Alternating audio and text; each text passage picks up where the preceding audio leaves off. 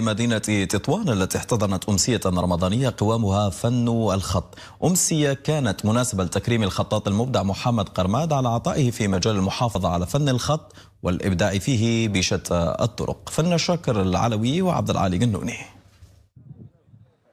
الحرف بتشكيله المتعدد وفنية صياغته داخل إطار اللوحات وبتكوينه الخطي الإبداعي بأنامل الخطاط محمد قرماد يؤثث معرضا مميزا خلال شهر رمضان برواق الفن بتطوان ليمنح عشاق فنون اليد المختلفة فسحة ليلية رمضانية بعنوان الجمال. اليوم إحنا عملنا عملنا اليوم آه، دكتور قرماد آه، بالخط العربي. آه، يعني أشكال فنية بالخط العربي والقرآن الكريم وهذا كيناسب بزاف هذا الشهر المكرم رمضان. وفي الحقيقة حنايا كنتشرفوا بزاف بالوجود ديالو معنا. بهذه المناسبة هذه قدمنا له تكريم بهذا المعرض الجميل اللي حنايا كنحتفلوا به اليوم.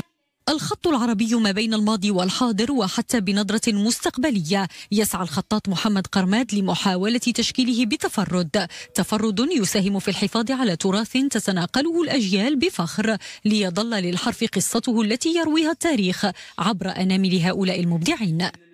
أن هذه الحروف هذه جات خصيصا بواحد بواحد الإبداع جديد باش نخرجوا لأنه عندي واحد عندي واحد الطاقة باش يمكن لي نبدل في نجدد في في الحرف العربي لأن كاين فرق ما بين الكتابة هي أن الإنسان كيكتب عادي ولكن الخط تيخطط الإنسان كيعطي الجمالية ديال الحرف. رواق الفن بتطوان عبر معرض الخط العربي بالشهر الفضيل منح الاعتراف والتكريم للفنان الخطاط المبدع محمد قرماد الذي كرمته أيضا بهذه المناسبة جمعية شباب الشبر للفن والثقافة والتنمية الاجتماعية بمرتيل لعطائه المتميز في مجال الخط العربي.